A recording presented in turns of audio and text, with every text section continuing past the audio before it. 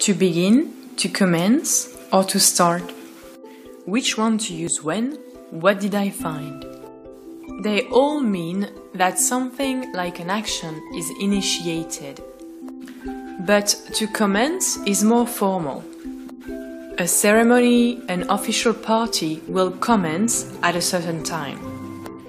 To begin and to start can be utilized for the same sentences, except that to start additionally means that something begins to work or move, like a car, an oven, a computer, a TV.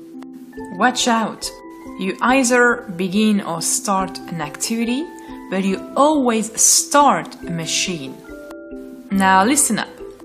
I begin to work by starting the camera as soon as the royal procession commences. Thanks for watching!